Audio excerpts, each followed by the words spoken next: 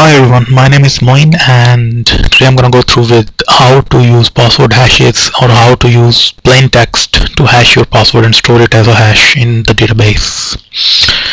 Right, I'm not gonna go through with the details of what password hash are, but we're just gonna look on a quick tour of what an MD5 password hash is and how it can be generated.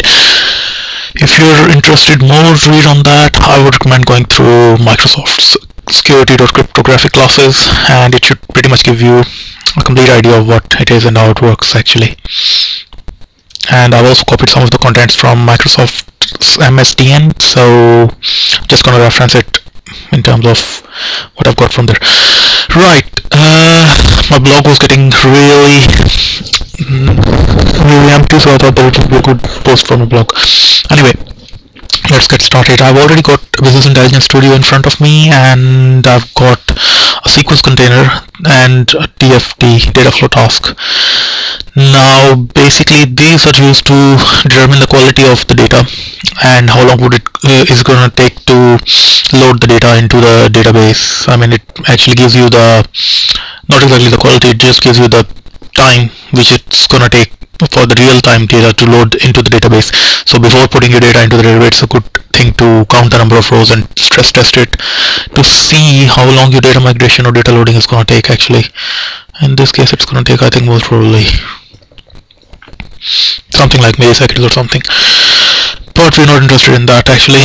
Right, so I'm just going to modify, I was acting lazy, I'm just going to modify this uh, component and I'm going to take a script task from here and use a transformation fair enough it's fine.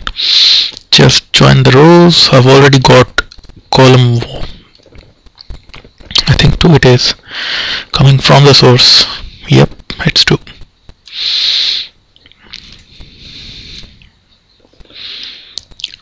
and in here it's just storing it to a variable so not worried about that.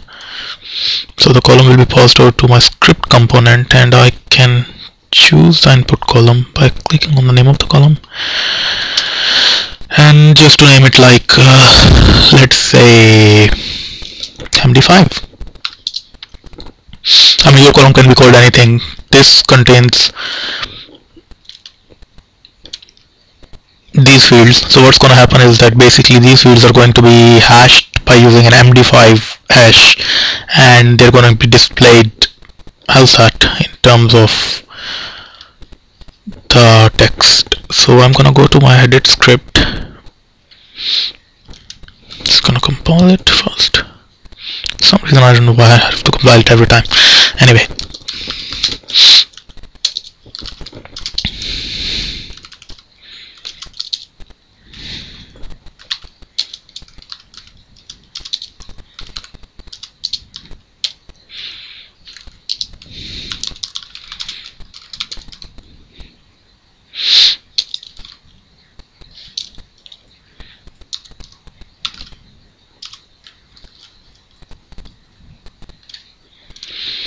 I've also got a code from here which I'm just gonna copy. I'm not gonna write too much of my own code.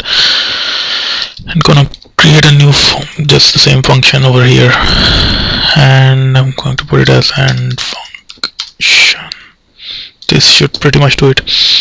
Uh, Microsoft has already given the library for that so I'm not reinventing the wheel in terms of this right so what we've got is basically an hash MD5 hash which is being created and then it's computed by passing the string which is being parsed here in the function now, VB.NET is not my specialty but still I'm working on it anyway right after that what happens is that basically it just loops through to the hash data and appends it to a string builder. I mean a string builder is a good thing if you want to append characters like uh, if you want to add characters to it.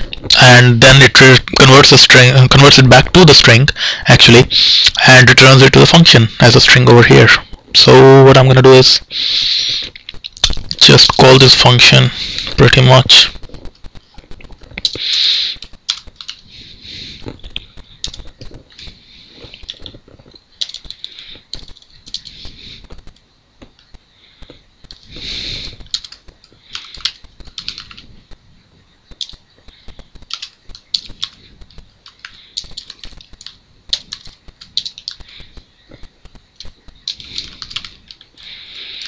right so this md5 hash it's going to be displayed for test. Now what I want to do is just check it and see it's running fine. I'm gonna click on OK. I'm gonna run my component.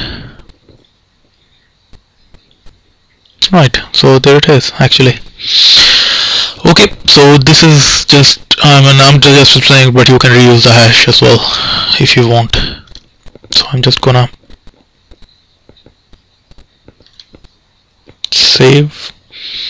This go back to my component. Click on edit script. Now what I'm gonna do is I'm gonna use the column which was there to get the hash of the column. So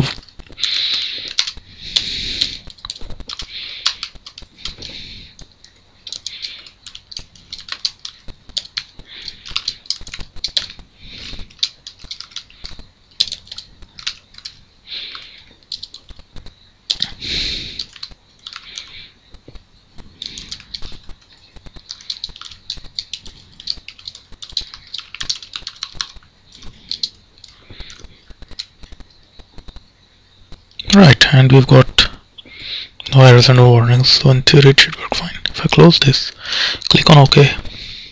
Click on run this is the first hash which is being computed for